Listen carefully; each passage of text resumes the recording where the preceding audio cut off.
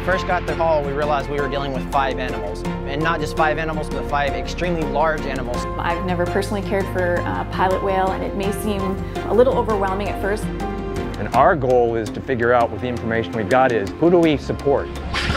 And just the community around you, it was people of all colors, all ages, all sizes, just coming together. What can I do? What can we learn? I've been in the industry for a while and this still stands out as one of the highlights of my career. This is a memory that I will never forget.